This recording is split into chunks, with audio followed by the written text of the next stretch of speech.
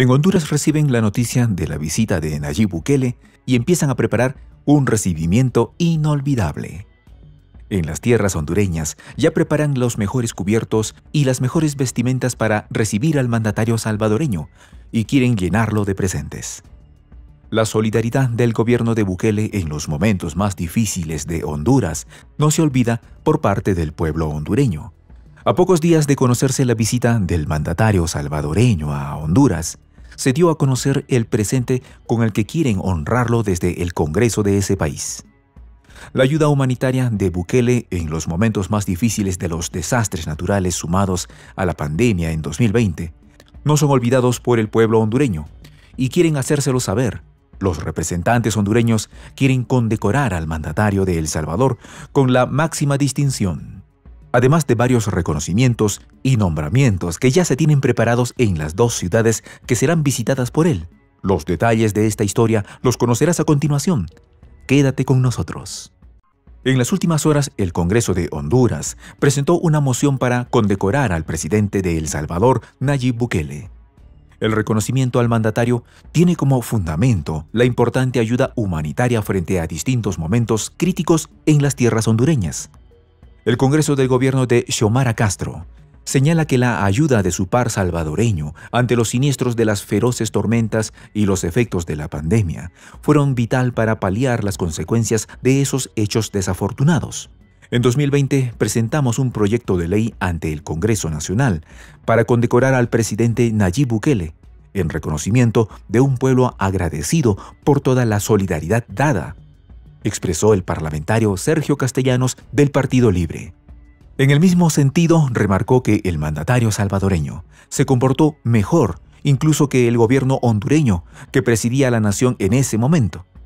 Palabras que apuntaban claramente a la desastrosa administración del criminal Juan Orlando Hernández. Al Congreso de ese momento, lo que menos le interesaba era agradecer a quien merecía agradecimiento y quien en ese entonces se portó mejor con el pueblo afectado por dos huracanes y con los alcaldes que le solicitaron vacunas, agregó el congresista. Esto se vio especialmente en las consecuencias de los temporales del Iota y Eta. Los huracanes arrasaron comunidades rurales y barrios urbanos en noviembre de 2020.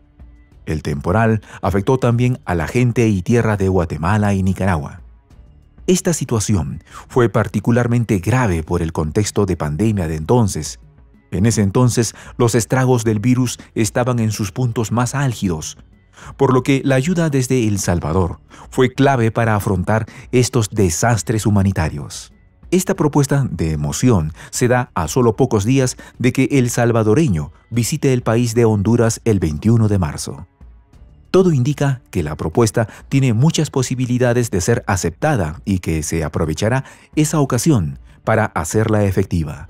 En efecto, en esas fechas, Bukele arribará a Honduras y será recibido por el alcalde Jorge Aldana, quien lo declarará visitante ilustre de la capital Tegucigalpa y le hará entrega de las llaves de la ciudad. Así lo informó Silvia Sosa, concejal de la alcaldía capitalina. En su paso por tierras hondureñas, también visitará la ciudad de San Pedro Sula, donde será recibido por el alcalde Roberto Contreras.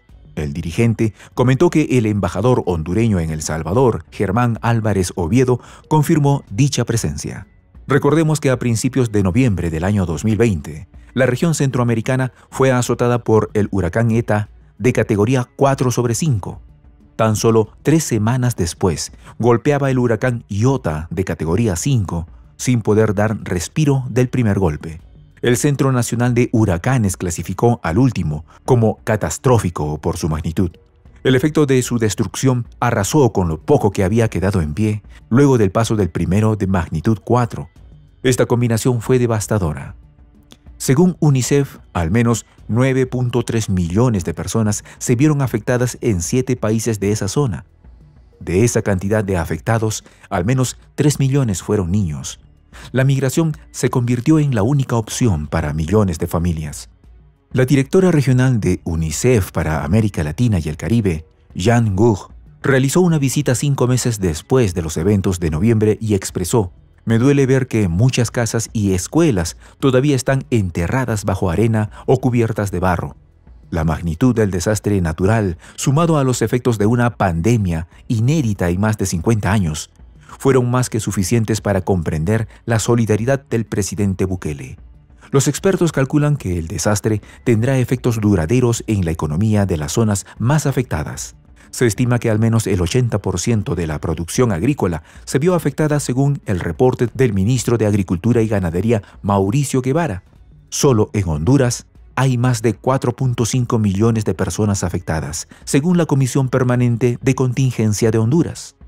Por otra parte, según el Informe Global del Desplazamiento Interno, en un trabajo conjunto del Centro de Monitoreo y el Consejo Noruego de Refugiados, los desastres naturales provocaron más de 930.000 desplazamientos internos y externos en Honduras, al considerar este contexto, no es de extrañar que la ayuda desde el gobierno de El Salvador sea un gesto que los hondureños no van a olvidar.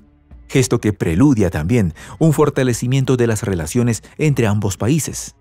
En este sentido, hace tan solo un par de semanas, el primer caballero y expresidente de Honduras, Manuel Zelaya, comentó que entablaron conversaciones con el presidente salvadoreño sobre la posibilidad de abrir las fronteras entre ambas naciones.